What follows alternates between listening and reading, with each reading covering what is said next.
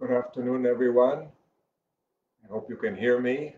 I hope we don't have a brownout. This is our next session of our series, or the Pope's series, on the Lord's Prayer. We're simply using the Pope's uh, teachings as part of our ongoing Anawim formation. Our formation, of course, is primarily based on the liturgy. That we'll say more about that in just a moment. But uh, we also are formed by all the ways in which God speaks to us, and one of those ways is through our Holy Father, Pope Francis. We are still quarantined, of course, so we can't meet in person. We continue to pray, we continue to hope without any impatience, without any discouragement uh, for the day when we can meet again in person. Hopefully, that will be soon. Uh, meanwhile, we make good use or we strive to make good use of all the means available to us. Uh, in this case, Facebook of all things, who would have thought of it? So here we are uh, live on Facebook, and I just discovered about uh, 15 minutes ago that my printer broke down. So I don't have any notes. I'm going to do uh, this from looking at one computer and talking to another computer. So I hope this works. Well, anyway, uh, we're uh, maybe that will be the fruit of our prayer. Uh, I've said many times that listening to talks on prayer is one thing, and it's another thing to pray. Prayer, of course, is more important. So uh, let's begin with our prayer. Will be, as usual, invoking the intercession of Our Lady and of Saint Joseph. In the name of the Father, and of the Son, and of the Holy Spirit. Amen. Queen Mother Mary, we come before you, begging an outpouring of grace upon the whole world. Open the eyes of our hearts with your faith. Draw us deeply into the life of the Church as we ponder the mysteries of creation, redemption, and sanctification celebrated in your maternal heart lead us into the Eucharistic heart of your Son to drink of the inexhaustible fountain of the divine will. We ask this through our Lord Jesus Christ, who lives and reigns with the Father and the Holy Spirit, one God, forever and ever. Amen. Prayer to Saint Joseph, protector of the Anawim. Beloved Saint Joseph, protector of the Anawim, watch over us day and night preserve us from occasions of sin, and obtain for us purity of soul and body. Grant us a spirit of sacrifice, humility, and courage, a burning love for Jesus in the Eucharist, and a tender love for Mary, our Mother. Saint Joseph, be with us living, be with us dying, and intercede for us to Jesus, our merciful Savior. Amen. O Sacred Heart of Jesus, have mercy on us. Eucharistic Heart of Mary, pray for us. St. Joseph, pray for us. Father Francis, pray for us. In the name of the Father, and of the Son, and of the Holy Spirit. Amen. So, hello again. Uh, I, I am hopeful that I can figure out how to read from one screen and talk to another screen. I may not be able to figure it out. But in any case, before we turn to the uh, the next talk of Pope Francis, which is the third talk in his series on the on the Lord's Prayer, let's note where we are in the continuous unfolding of the liturgical year. We just celebrated Trinity Sunday, a beautiful occasion for uh, renewing our dedication to prayer. After all, uh, prayer is communion with God. Prayer is communication with God and the more we know God, and the more we love Him. And Trinity Sunday is all about getting to know know God. So it's not it's not primarily about the technical language about the theology of the Trinity. It's more the language of love. Now we're preparing for and we're looking forward to our celebration of Corpus Christi. Uh, this feast is close to anybody who loves the Eucharist, of course anyone who has a Eucharistic heart Mary has a Eucharistic heart. We just turned to her, uh, asking for uh, her to lead us into the Eucharistic heart of her Son. Uh, and she's forming all of us, in all of us, a heart like her own. St. Joseph, too, has a Eucharistic heart. I, I, I, thought of this as we prayed this prayer to St. Joseph. Uh, grant us a spirit of sacrifice, humility, and courage, a burning love for Jesus in the Eucharist, and a tender love for Mary, our mother. So, a burning love for Jesus and the Eucharist, that's at the center of our celebration of Corpus Christi. Then next week, uh, one week from tomorrow, in fact, is the solemnity of the Sacred Heart, and then the following day on Saturday, the, uh, the celebration of the Immaculate Heart. So the hearts of Jesus and Mary. Uh, all these big feast days that I'm mentioning are, are, going to be over before we meet again. I hope some of you can join our masses for the Sacred Heart and the Immaculate Heart. But even if you can't, uh, remember that we always have a triduum of preparation for the uh, so for the feast days. That triduum, the three days of prayer, Tuesday, Wednesday, and Thursday of next week. I'm sure you'll receive copies of the prayers and the intentions uh, in the Viber group. But uh, uh those who can't uh, attend masses here or or who won't hear in any other place about these highlights, we should at least keep in mind that these big feast days that, that flow from Pentecost are like the, the conclusion of the, of the fireworks, fireworks show. This is it. The, the Holy Spirit has come. The Holy Spirit has filled us. The risen Lord is with us, and He sends us out. And there, there's no limits to what He can do, and no limits to what He wants us to do. So he, he feeds us with himself in the Eucharist. and that's, the, that's our food from heaven. And then he reveals his heart. That's love from heaven. And then he makes our hearts like his own by, by teaching us the response of Mary's heart, the response of love. And, and maybe someday there'll also be a, a feast for the heart of St. Joseph, our protector and our guide. Okay, well, that's where we are in the liturgy. Let's jump into our, like, I keep looking for the papers. I don't have any papers. okay, let's look at the uh, at the uh, talk from Pope Francis. Remember, the first session was uh, teach us to pray, and we reflected on on on how we learn to pray, and we reflected on Jesus as the model of our prayer. Of course, we still need to learn. That's the whole purpose of this series, learning how to pray. Then, in the second session, which was last time, the title was a prayer that asks with confidence. So we learn to approach the Lord without fear. Today's catechesis is entitled At the Center of the Sermon on the Mount. So this is the talk he gave January 2nd, two years ago, 2019.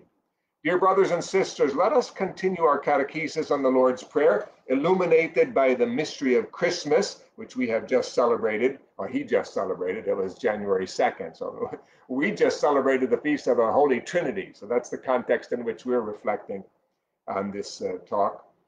The Gospel of Matthew places the text of the Lord's Prayer strategically at the center of the Sermon on the Mount, the middle of chapter 6 of Matthew.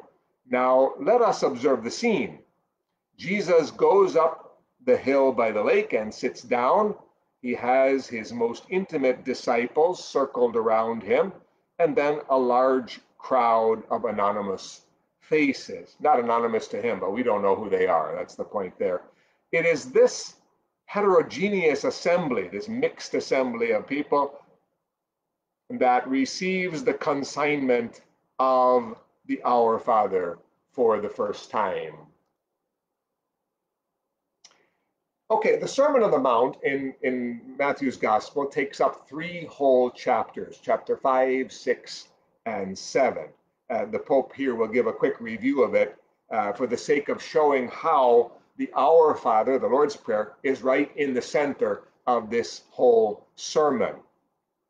And, and he points out that the Sermon on the Mount is given both to the disciples and to the crowds, anybody who happens to come along. It's a teaching for anyone and for everyone, but not everyone receives it equally, as we know. So let's keep going here. Number two, the location, as I said, is highly significant because in this length, lengthy teaching, which falls under the title of Sermon on the Mount, Jesus summarizes the fundamental aspects of his message. The beginning is like an archway decorated for a celebration, the Beatitudes. The, the beginning of the Sermon on the Mount is the Beatitudes, and they also are a summary of all of Jesus' teaching. That's why uh, a lot of people would say that the Beatitudes are at the heart of the Sermon on the Mount. Here, Pope Francis is saying the, the Lord's Prayer is at the heart or at the center of the Sermon on the Mount. Uh, and the Beatitudes he calls an archway or a gateway or a, an entranceway into the whole sermon. Jesus crowns with happiness or you might say blessedness, since we say blessed are the poor or happy are the poor. He crowns with happiness a series of categories of people who, in his time, but also in ours, were not highly regarded. They were not considered happy or blessed. Blessed are the poor, the meek, the merciful, people humble of heart. This is the revolution of the gospel. Where the gospel is, there is revolution. The gospel does not leave us calm, it drives us. It is revolutionary. Well, since the Pope uses the word revolution here three times, I think it's important that we reflect a little bit on what he really means. Uh, I'm not sure how this sounds in Italian or what the word even is in Italian, but in English, the word revolution usually brings to mind armed conflict especially of people who are trying to overthrow the established order. So, uh, coup d'etat is a revolution. Uh, that's not exactly what Pope Francis means here when he says that the gospel is a revolution. Uh, wherever the gospel is, there's a revolution. It, it might sound like um, he's trying to destroy the government or overthrow the government. It's not exactly it the Christian revolution, the gospel revolution, is the overturning of values, worldly values. The overturning of worldly values, or the reversal of perspectives, or the reversal of priorities that exist in the world. And anybody who has pondered the Word of God and tried to put it into practice knows what this is all about. Uh, when we ponder the word, when we uh, encounter the word and let it get past our defenses, it sounds crazy. It feels crazy. It, it seems foolish. The foolishness of the gospel, the absurdity of the cross. Uh, this, this revolution of the gospel, in this sense, is everywhere in the life of the church. Uh, the scriptures are not simply a collection of pleasant sayings or or or uh, things that that, uh, that make us feel good. the scriptures are so challenging. Uh, just uh, we just celebrated the solemnity of the Holy Trinity, the most blessed Trinity. Try to explain the Trinity to someone who doesn't have any faith. It, it, sounds crazy to them. It's a revolution of their minds. In fact, when we try to figure out what this Trinity is about, it it it's a revolution to us. We can't figure it out, and we're not used to accepting things that we just can't figure out. Or try the Eucharist. We're about to celebrate the solemnity of the of Corpus Christi, the Eucharist, the body and blood of Christ. Try explaining that to somebody. it sounds crazy. It doesn't make any sense. It's a revolution in, of the mind. Or what about the call to love one's enemies? That's a revolution. Or what about martyrdom? Revolution. Today's the celebration of the feast of the martyrs of Uganda, Saint Charles Lwanga and his companions. It's revolutionary. It all sounds ridiculous to, uh, to a secular heart. And the Beatitudes, the beginning of the Sermon on the Mount, are a great example of this revolution. Who is to be counted among the blessed? Who is to be counted among the happy? The world says the rich, the famous, the healthy, the beautiful, the powerful, uh, etc. And the Sermon on the Mount says, no, no, it's it's not them. It's the poor, the meek, the merciful, the humble, the peacemakers. So, what Pope Francis is is uh, reminding us here is that the Lord's Prayer is at the center of this revolution. So, this is a powerful prayer. This is a significant prayer. Don't take it for granted. He's just giving us the the, um, the setting in which this prayer has been handed on to us. All people capable of love, the peacemakers who until now ended up at the margins of history, meaning uh, with seemingly no influence on the building of the kingdom of this world, are instead the builders of the kingdom of God. It is as Jesus would say Go forth, you who bear in your heart the mystery of a God who has revealed his omnipotence in love and in forgiveness. This is really worth pausing on. You bear in your heart the mystery of a God who has revealed his omnipotence in love and in forgiveness. God has revealed himself. This is what we celebrated on Trinity Sunday. God's revealed himself as, as a communion of love. The, the radical and challenging truth of the Christian faith is the kind of God that we have. It's yes, we always think of the challenge of following this God, but the first challenge or the first revolution is who God is. He is all powerful, yes, he's omnipotent, yes, but he is love. The, the Trinity is not a, a three a, three-way uh, wrestling match. it's not a competition. It's not a contest to see which one of the three is going to come out on top as the victor.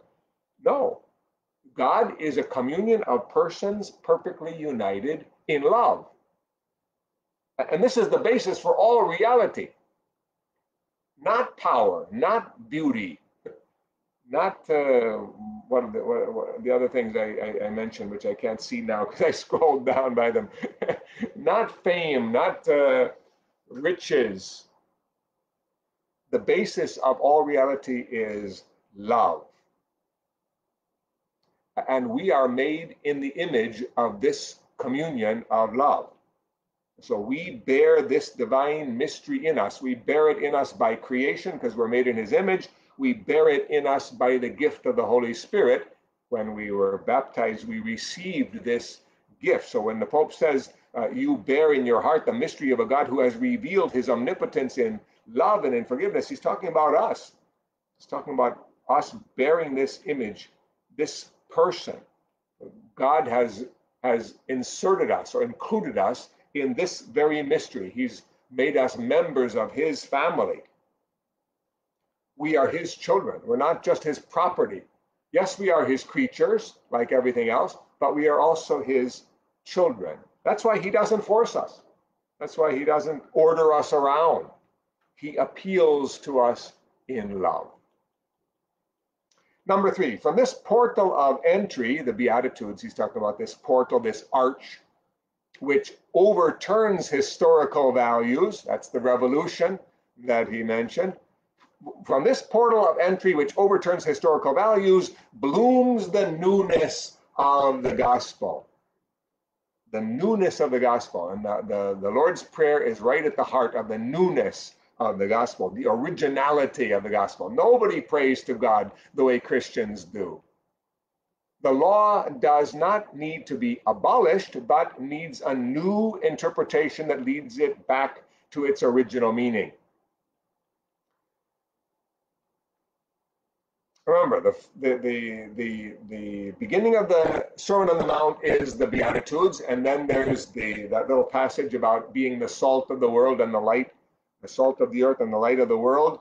And then there's that section where Jesus gives a, a, series of teachings on the law, uh, which he has come not to abolish but to fulfill. So he gives a new and a deeper and a more perfect interpretation of the law. He says, "Well, this is what you've heard. This this is what you've heard. Do this or don't do that. But I say to you this." so you've heard, uh, "You shall not kill," but I say, "Do not grow angry." You shall not uh, commit adultery, but I say, "You shall not uh, uh, uh commit adultery in your heart." You've heard, you know that. There's a whole series of them. And Jesus when he does this, it, it, impresses the crowds because he says, they, they all say, My goodness, this man is speaking with authority, his own authority. He's not just referring to Moses or to the rabbis, he's speaking on his own. I say to you, if a person has a good heart, predisposed to love, then he understands that every word of God must be incarnated up to its ultimate results. Love has no boundaries. One can love one's spouse, one's friend, and even one's enemy with a wholly new perspective. Jesus says, But I say to you, love your enemies and pray for those who persecute you, so that you may be sons of your Father who is in heaven. For he makes his sun rise on the evil and on the good, and he sends rain on the just and on the unjust. The Pope says every word of God must be incarnated up to its ultimate results. That's a big, a big expression. It's a way of talk, uh, the, the way we usually speak about it is putting flesh on the word, incarnating the word of God up to its ultimate results. You see, this, the, the word we know is a seed and is meant for good ground to grow in. This is where what Pope calls a good, a good heart predisposed to love. Do we have this kind of heart? Do we have this predisposition? Do we understand that the word must be incarnated up to its ultimate results? A, a, a heart uh, predisposed to love. The, the, gospel today, this morning, was about love, the two great commandments of love. The, the scribe asked for which one is the greatest, and Jesus gave two. Love has no boundaries spouse, friend, neighbor, even enemy. Well, uh, how can we do that? How does that work? How can it even be? How can we even think of it? We can think of it and we can do it because of who God is, not because of who we are. Who God is. We are His children. It's a, the the commandment of love is God first. He is love. Live as sons of your Father who is in heaven. The Pope will speak more about this in the next paragraph. But he has already spoken about this in the last talk, session two Ask with Confidence. Uh, he said that the Lord's Prayer is a short, audacious prayer. We just blurt out the first word, Father. Who would dare to do that? Only the children would dare to blurt out Father the Pope Francis in session two, he spoke about knocking down the barriers of fear and awe. And then he, he used as an example the blind man, Bartimaeus, the blind man who the people said should be quiet, and he instead called out louder. So the example is teaching us not to be afraid to approach God. Okay, number four. Here is the great secret underlying the whole Sermon on the Mount Be children of your Father who is in heaven. Be children of your Father who is in heaven. This was at the heart of, of last, the last talk as well.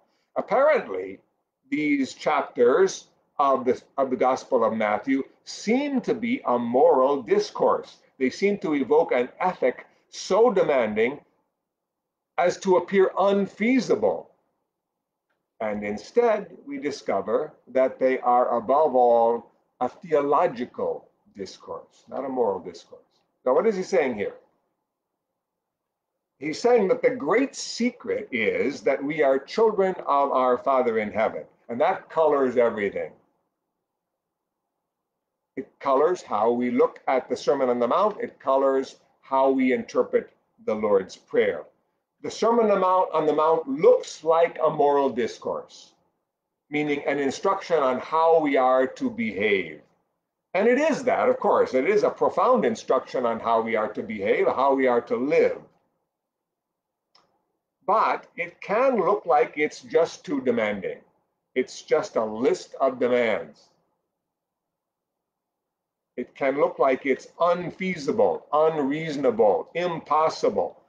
But instead, the Pope says, we discover it's not just a list of demands, it's a revolution of our identity as children of God.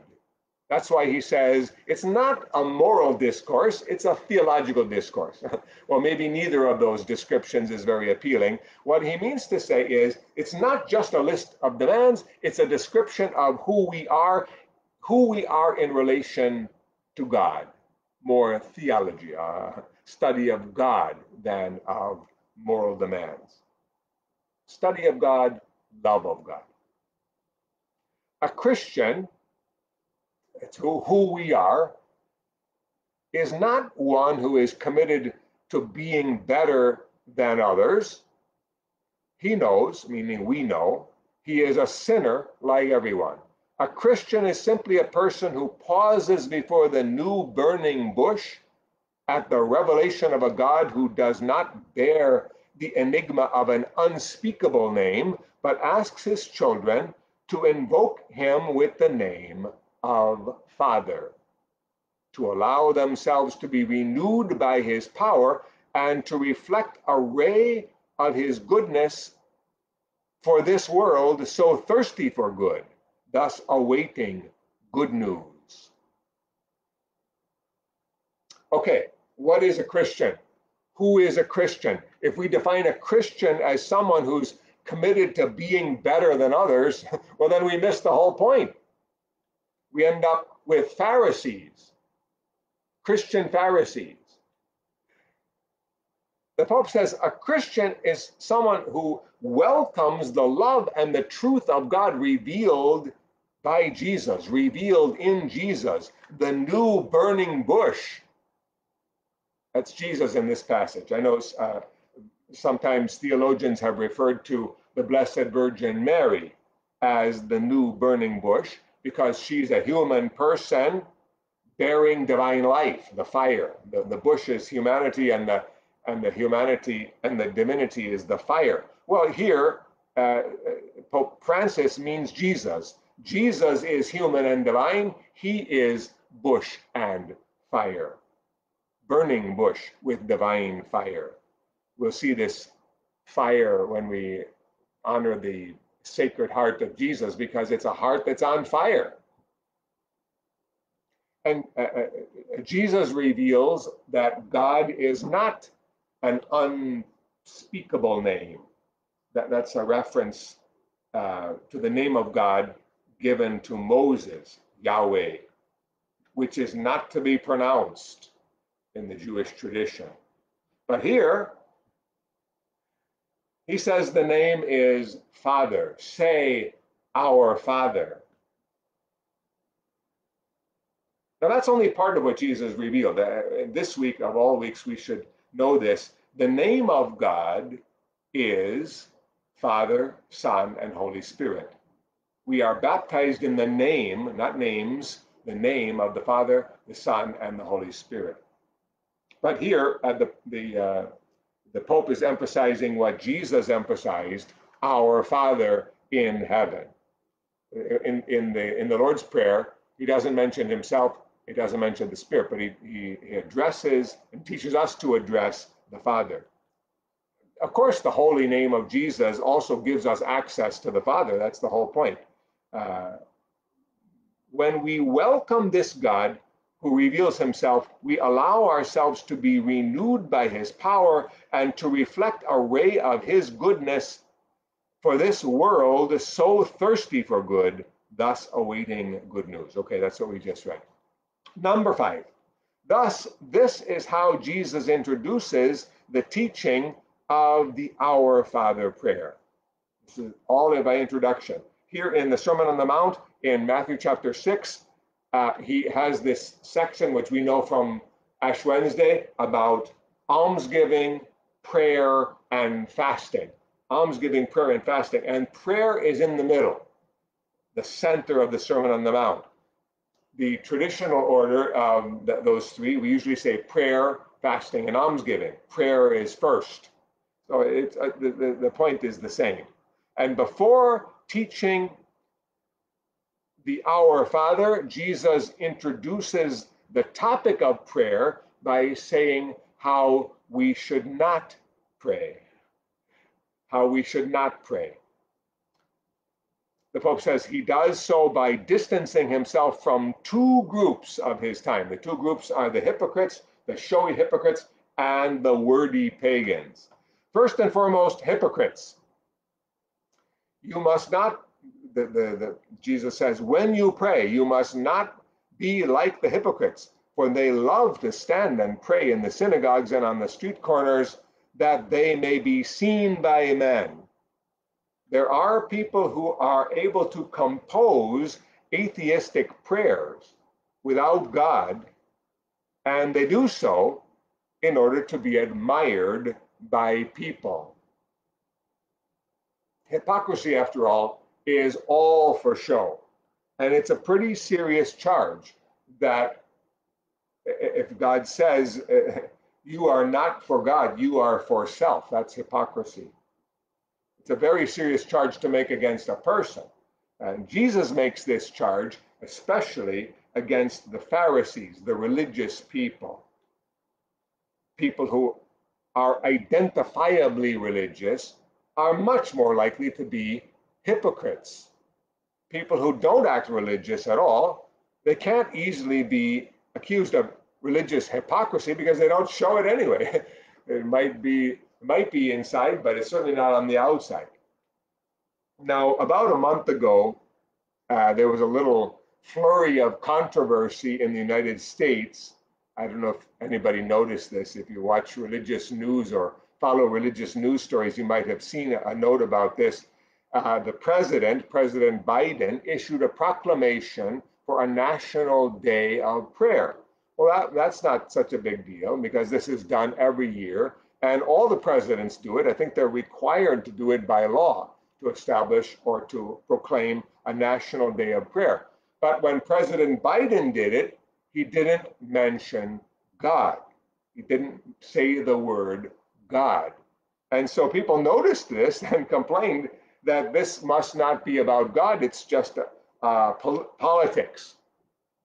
Now, I don't know. And in fact, it's not that important for our reflection here, but it certainly comes to mind when Pope Francis speaks of atheistic prayers without God. Now, I think President Biden's, Biden's statement was a proclamation. It wasn't a prayer addressed to God. It was a call to prayer. Let us pray. You don't have to say, let us pray to God. It's implied, uh, but it did make some headlines. In any case, Pope Francis here is speaking about people who pray publicly, but only to impress, who pray without raising their hearts to God. And how often we see the scandal of those people who go to church and are there all day long, or who go every day and then live by hating others or speaking ill of people. This is a scandal. It is better not to go to church living this way as if they were atheists. But if you go to church, live as a child meaning a child of God. If you go to church, live as a child of God, as a brother or a sister, and bear true witness, not a counter witness. True witness, not a counter witness. Uh, since I mentioned the, the US president, perhaps you can continue on this problem of public figures who identify themselves as followers of God, as Christians, especially as Catholics people who identify themselves as Catholics, but who oppose Catholic teaching in their public lives and in their lawmaking. This is the scandal the Pope is talking about. And this is one of the scandals he's talking about, not just going to church, but people who are publicly proclaiming them, themselves as Christians, but publicly oppose Catholic teaching. And the, there are obvious cases of this in the States Catholics who promote legal abortion, Catholics who promote transgender ideology, Catholics who promote the so called gay marriage. There are a number of them, and they are a scandal because they are a counter witness. The Pope says it's better not to go to church than to go and be a hypocrite. Better not to go to church. Better not to proclaim yourself a Catholic if you're going to be a counter witness.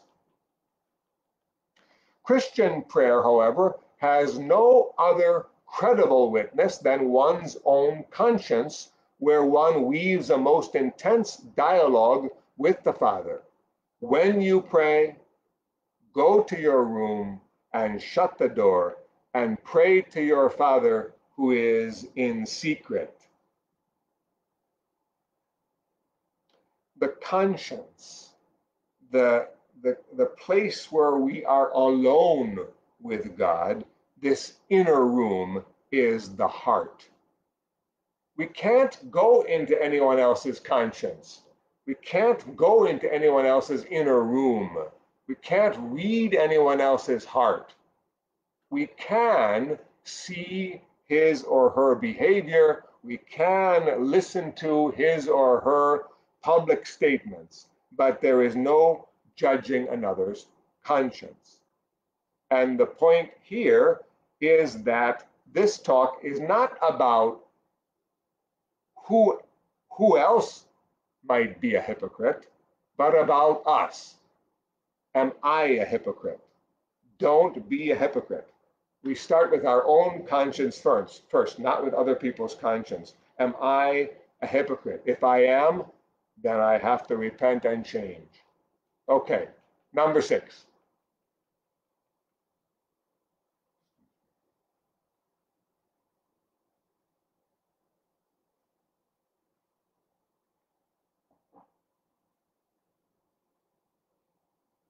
Then Jesus distance him, distances himself from the prayer of pagans. So, two groups, hypocrites and pagans. This is the second group, pagans. When you pray, do not heap up empty phrases. Or in the other translation, do not babble like the pagans, for they think that they will be heard for their many words, the multiplication of words. Here, perhaps Jesus is alluding to that captatio benevolentio, benevolentiae, which was the necessary introduction to many ancient prayers. Divinity had to be in some way appeased by a long series of praises, of prayers too. Now, I'm not familiar with this phrase captatio benevolentiae. I don't even know how to pronounce it. I, I, I, I suppose an American would say captatio, captatio benevolentiae. Uh, so I'm, I'm not used to that terminology. It's a Latin expression, but what it means becomes clear uh, in what the Pope says here. It's a rhetorical technique used at the beginning of an address or a talk to butter up the audience, to flatter the audience, to use flattery to get a favorable response from them. So that's what the Pope is talking about. And it's striking because a, a very good example of it we just heard in the Gospel on Tuesday, two days ago, Mark chapter 12. Remember this question about taxation or whether the whether the people should pay the census tax or not. It starts out this way: Some Pharisees and Herodians were sent to Jesus to ensnare him in his speech. The purpose is to ensnare him, catch him. They came and said to him, Teacher, we know that you are a truthful man and that you are not concerned with anyone's opinion.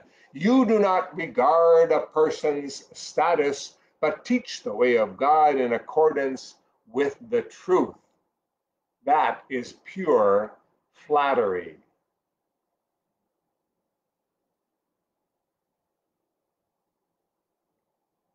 They're trying to make Jesus easier to catch. Is it lawful to pay the census tax to Caesar or not, etc. And what is, after their question, what is Jesus, what is the first response? Knowing their hypocrisy, he said to them, Why are you testing me? etc. Okay, you know that passage from Tuesday's gospel. We get the idea. Flattery or appealing address to win favor. It's one thing to do this for a human audience. My beautiful and gracious friends, thank you so much for being with me. It's one thing to do it with human and human audience. It's another thing to do it with God, to try to do that to God, to use all kinds of introductory words. It's not necessary, the Pope says. Uh, who are we speaking these gods for? God doesn't need them. Let us continue. Let us consider that scene on Mount Carmel when the prophet Elijah challenged the priests of Baal. They shouted, danced, and asked for many things that their God would listen to them. But Elijah instead remained silent, and the Lord revealed himself to Elijah. You know this story, I hope. This is 1 Kings chapter 18. Uh, Elijah is on one side, and all those prophets of Baal on the other side, and they have the sacrifice there. And the, the, the, the Baal priests are jumping all around and shouting and cutting themselves and dancing. And Elijah starts to taunt them. Call louder. He's a God. He may be busy doing his business, or he may be on a journey, or maybe he's asleep. Call louder. You have to wake him up.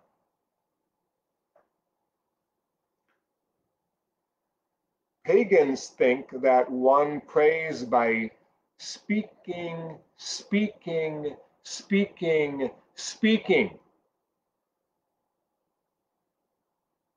I also think of many Christians who think that praying is, pardon me, talking to God like parrots. No, one prays from the heart, from within. You instead, Jesus says, when you pray, address God as a child to your Father, who knows the things that are needed before you even ask for them. The Our Father could also be a silent prayer. It is essentially enough to place yourself under God's gaze, to remember His fatherly love, and this is all it takes to be satisfied. Now, in any talk on prayer, this point has to be emphasized. Vocal prayer is good, vocal prayer is necessary, but it's not enough for prayer to be only words. That is, talking to God like parrots.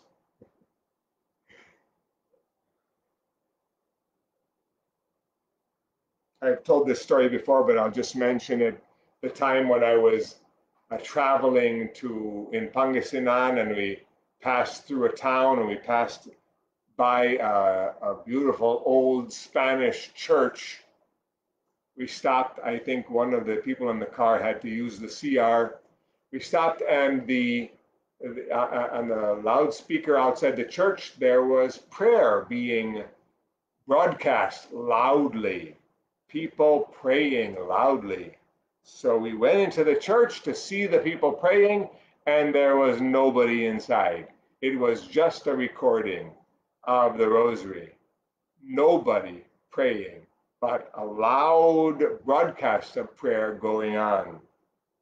Just like a parrot, parrots in the recording.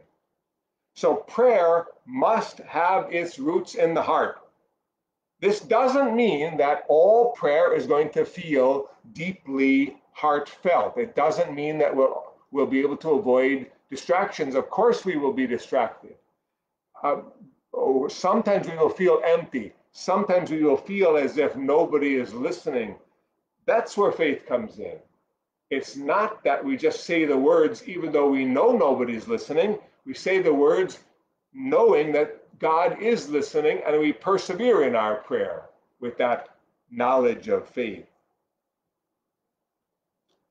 Do not reduce the prayer to mere words. We have plenty of long prayers, too many, I think. Pope Francis says that the Our Father could also be a silent prayer.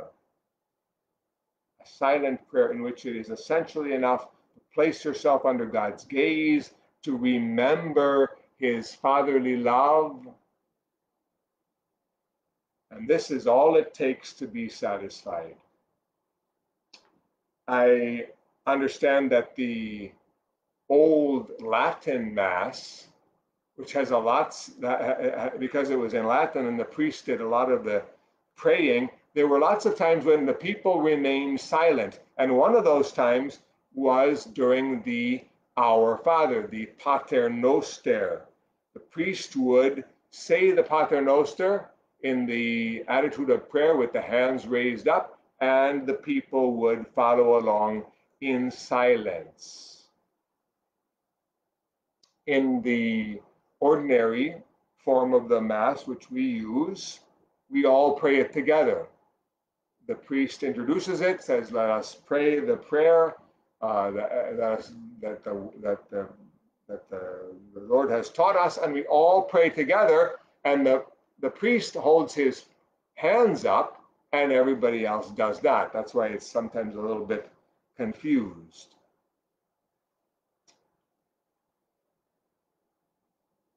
Anyway, uh, the point of the Pope is that the Our Father can be a silent prayer, meaning a prayer from the heart rather than from the lips. It is beautiful to think that our God does not need sacrifices in order to win his favor. Our God needs nothing. In prayer, he only asks that we keep a channel of communication open with him in order to always recognize that we are his most beloved children. He loves us very much. Sounds so simple, and it is simple. If we are willing to be childlike, of course, it is also difficult. Prayer takes a lot of effort, it takes a lot of time, it takes a lot of practice. Uh, but it doesn't mean that we are not children of God. It doesn't mean that we have to rise up to show Him that we're worthy of His love. Okay, well, that brings us to the conclusion of our reflections on the third talk of the Holy Father. You will note once again that we have barely scratched the surface of the Lord's Prayer. We have barely talked about the actual prayer. We have just said our Father and said no and, and gone no further. We have just entered into the into the gateway of the of the Sermon on the Mount, but we have gone no further. So we look forward to the next talk in this series on the Lord's Prayer. There is much more to come. In the meantime, we take some time for reflection and for sharing.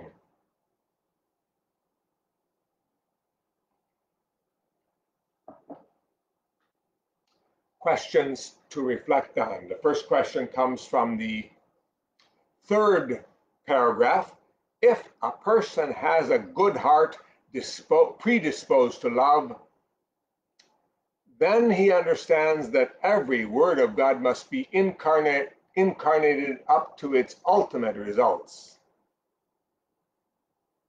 Do you understand that every word of God must be incarnated? We ponder the word all the time.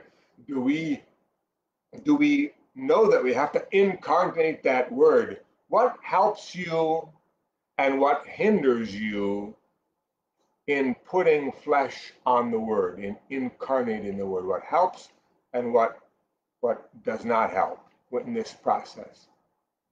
Number two, this comes from the fourth paragraph. Here is the great secret underlying the whole Sermon on the Mount. Be children of your Father who is in heaven. Do you know this great secret? How and when did you learn it? How does it affect the way you pray? How and when did you learn this secret of being a child of our Father in heaven? Okay, number three.